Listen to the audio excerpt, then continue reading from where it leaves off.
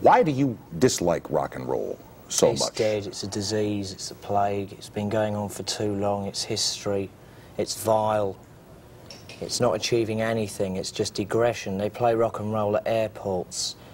That's about as like advanced as it can possibly get. But there it's was a too limited. but there was a time when you didn't feel that way. It is way. too much like a structure, a church, yeah, but there a was a, religion, a farce. a time when you did not feel that way. What made you change? no, I've always felt this way.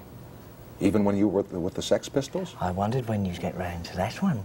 Yes, even then, because the Sex Pistols was going to be the absolute end of rock and roll, which I thought it was. Unfortunately, the majority of the public, being the senile animals that they are, got that wrong. Too bad. All they want is an image, something flash.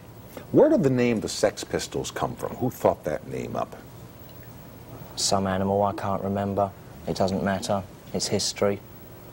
Well, I think history matters a little bit. When you say some animal, was this a member of the band that made History it? does not matter.